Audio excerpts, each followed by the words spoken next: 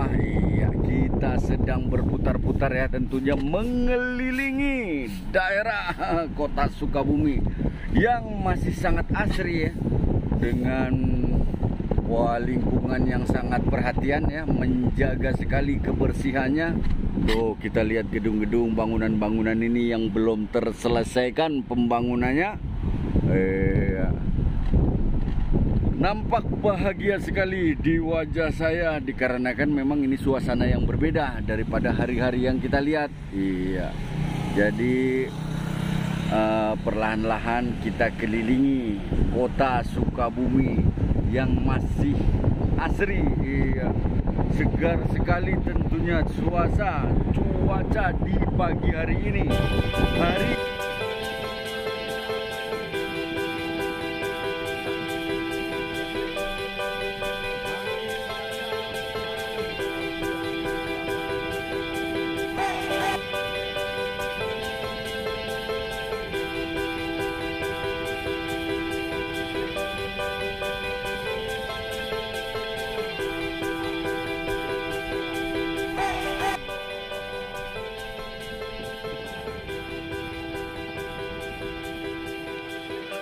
Assalamualaikum warahmatullahi wabarakatuh. Sahabat game Slovermania Saya Satria Baper, Satria Batu Akik dan Permata Mengabarkan dari kota yang damai, teduh, indah serta asri Dengan suasana yang nyaman. Tentunya kita tidak menyangka sisi lain dari bos pedagang batu akik yang berada di Sukabumi. Teman-teman saya tunjukkan sedikit ya Situasi dan lingkungan yang masih ada sawah-sawah dan sebagainya. Ternyata begitu banyak sekali ya. Kita lihat nampak di depan sana bebatuan yang sangat komplit tentunya. Perbatuan Nusantara dari ujung barat hingga ujung timur. Dari Sabang sampai Merauke. Dari Pulau Miangas hingga Pulau Rote. Saya tunjukkan ya kawan-kawan. Nah, di sini tersedia berbagai macam batu. Tentunya dari bebatuan fosil dan lain-lain. Oh, artinya komplit sekali. Tetapi yang lebih unik lagi ya kita lihat teman-teman ya saya akan tunjukkan bagian dalam dari rumah ini. Ya please. Mari kita lihat. Barangkali nanti teman-teman ada yang tertarik. Jadi lengkap sekali buat bos-bosku semua, buat tuan-tuan, buat para kolektor penghobi perbatuan Nusantara khususnya. Saya shoot dulu. Nah. Jadi tersedia dari berbagai macam aksesoris ya. Ada gelang. Di sini ada yang berbentuk semacam kupu-kupu.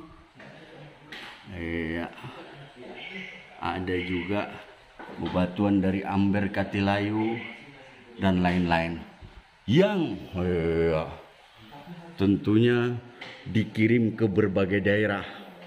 Berbagai daerah entah itu lokal Indonesia bahkan sampai ke mancanegara. Nah, buat teman-teman nanti yang mau tahu akan saya sedikit bocorkan. Iya kita lihat lagi terus ke sini tentunya dengan berbagai macam varian batu Wow, wow, wow. Hei, buat bos-bos nanti yang ingin pesan batu apa pun, bisa kita kondisikan. Wah, Sukabumi punya kekayaan alam yang luar biasa. Iya. Nah, di sini ya. Di sini lengkap sekali. Lengkap sekali bos-bosku. Lengkap dengan berbagai macam varian batu dan desain-desain khusus tentunya sesuai dengan uh, pesanan para bos-bos semua gitu.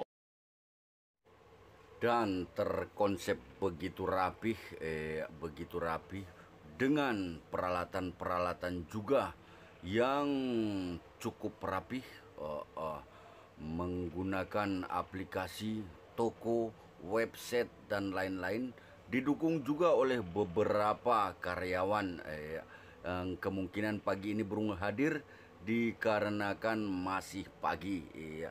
Artinya patut kita contoh sebagai pelaku bisnis atau pedagang online di seluruh daerah-daerah tertentu. Ya, kita lihat ya di depan juga sedang transaksi. Ya, sahabat Games Lover semua, kebetulan saya diizinkan masuk ke ya, gudang penyimpanan ya, penyimpanan batu-batu akik dan permata Nusantara tentunya ya. Iya, di sini da dari berbagai macam batu ya. Kalau disebutkan satu persatu mungkin tidak bisa. Bermacam-macam batu dari batu giok, Bengkulu, Yaman dan lain-lain. Artinya dari ujung barat hingga ujung timur.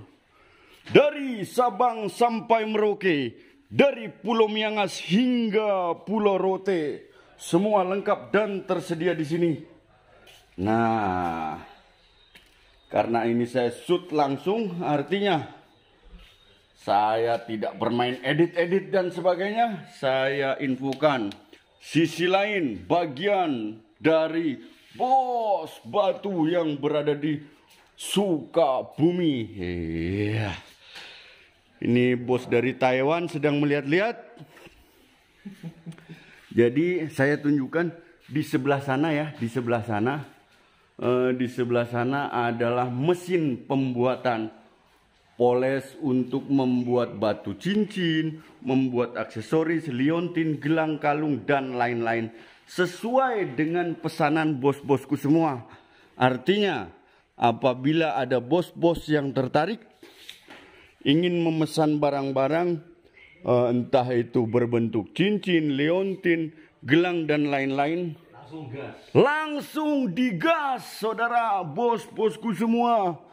Uh, uh, jadi saya tunjukkan bagian sebelah sini karena diizinkan masuk. He, artinya di sini dari mesin potong hingga mesin pengolahan batu khususnya alam Nusantara lengkap tersedia. Ha mesin semua ya saya tunjukkan satu persatu yang mungkin sahabat-sahabat di luaran sana ya kan tidak menyangka artinya di daerah Sukabumi tempat atau daerah yang hening tidak terlalu carut marut atau rame dengan aktivitas ternyata ya ternyata banyak sekali tersimpan kekayaan alam di sini. Iya.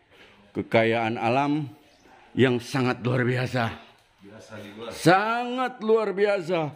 Plus dengan pemasaran yang lebih canggih daripada kita. Eh, artinya pemasaran bos-bos kita sudah menggunakan website dengan aplikasi-aplikasi yang canggih langsung menjangkau ke negara-negara tertentu yang memang penghobi-penghobi daripada entah itu pajangan ya, pajangan, aksesoris, dan lain-lain.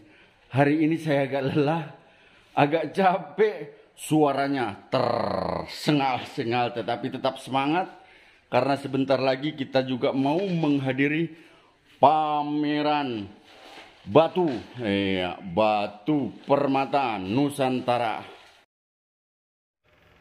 Tepatnya berada di gedung Craft Center dalam acara gelar karya potensi industri kreatif, usaha kecil, mikro, dan menengah, serta IKM Batu Mulia dengan tema gelar karya wira usaha baru. Oke bos-bosku semua lanjut kita tunjukkan bebatuan yang ada di sini Big Boss Sukabumi dengan pemasaran yang sudah menjangkau ke mancanegara dan patut kita tiru tentunya. Aw, aw, aw, aw, aw, hampir ke semua sudut ya, hampir ke semua titik dengan bebatuan yang tentunya bukan kintal, kilo atau mungkin lebih ton. Kemungkinan ini hanya iklan saja, iklan bosku. Hanya iklan saja.